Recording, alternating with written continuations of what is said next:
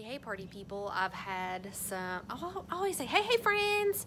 I am outside. I just finished cooking on dinner on our Blackstone griddle, and I had some of you guys ask me how easy it was to take care of and clean. So I'm just going to preface this with I'm new to Blackstone. I haven't had mine that long, only a couple months.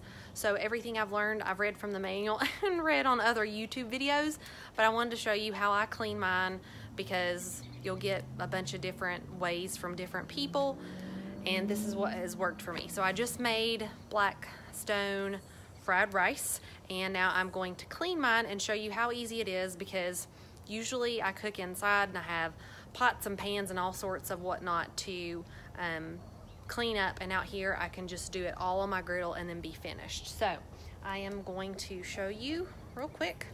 Okay, so here's my griddle. I'm gonna turn it all the way off. Now, some people will, whoa, sunshine. So you'll just have to look at this part of me. Some people like to um, make their dinner and then go inside and eat and then come back out and clean. I usually am gonna clean mine as soon as I'm done with dinner because I don't want that extra work to do later. Woot woot. So um, I'm gonna clean mine with water and I have purchased this water squeeze thing from Amazon, but I've seen them at Walmart and lots of different places. And you want to do it when it's still warm, when it hasn't cooled down, so you can get that steam factor. But if it's super hot, it's going to steam a lot. So I usually wait till mine is just a little bit warm. Mine's just a little bit warm on this side, and a little warmer over here where I did most of my cooking. And the first thing you do is you just scrape off all of your food. If you go and eat and come back later, if you go and eat and come back later, you can uh, just turn it back on and warm it up a little bit. So just scrape off, there's a little cup in the back that holds the food, grease, whatever you have. And I just scoop it all back in there and then I clean that a little bit later after it's all the way cooled down.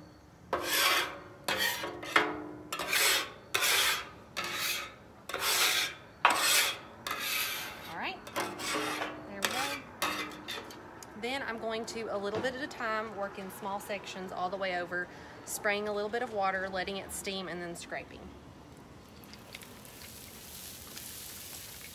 Okay, so I spray a little bit.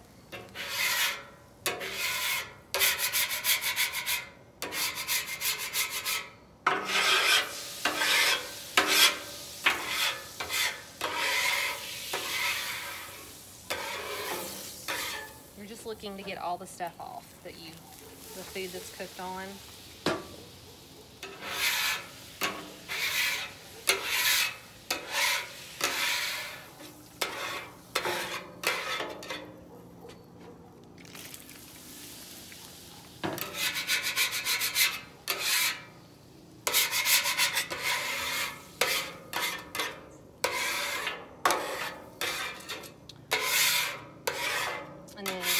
To do that all the way across until you get the whole thing cleaned off. Sorry, the sun is at a weird angle. So now that I've gotten it all scraped all the way off, as you can see, all the food is scraped off. I do take a little bit of paper towel and just go along the edges and make sure I have all of the water.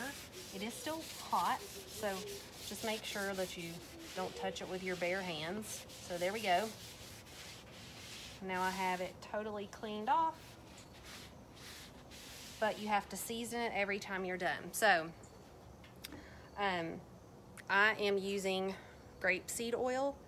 You'll get a thousand, sun is crazy. You'll get a thousand different opinions from a thousand different people. So here's what I'm gonna say. What oil should you season your Blackstone griddle with? You do you, boo. Bacon grease, that would be legit. So whenever it's still warm, but all the way clean, I'm going to very liberally pour some of my grapeseed oil on top and then use a paper towel and then just make sure it's seasoned all the way across. This keeps it from um, resting and also gives you a nice non-stick finish. I'd love to tell you guys um, exactly how I seasoned it in the beginning.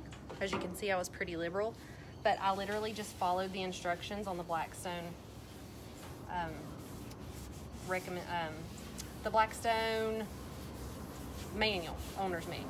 So then also, I live near the airport, so here goes a here goes some planes.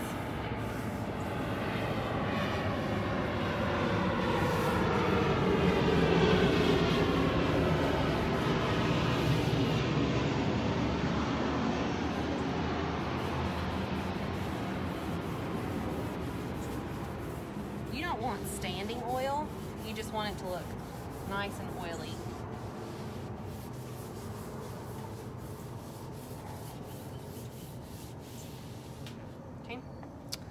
Going to go over mine one more time.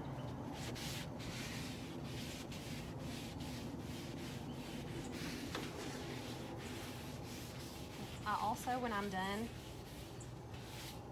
like to um, clean off the sides from any food splatter. And what I do along the sides on, I clean both sides here and then I clean along the front here because it gets food splatter. And I literally just spray it down with some thieves cleaner and wipe it off. It works really great. So I just take my thieves cleaner, spray just a little bit. You don't want to spray it up in there.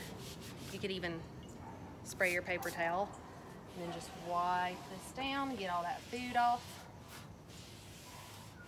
It's warm so it dries pretty much automatically. And then down here I can do the same.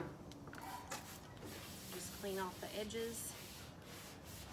And when I'm not doing a video, I can go super fast, a lot faster than I can when I'm cleaning all of my pots and pans in my kitchen. So um, we went with the Blackstone because we wanted to be able to cook outside and cook all our food at once and cook meats and stuff outside instead of cooking them in the house where they're a little bit messy and I love it. It is so easy to care for.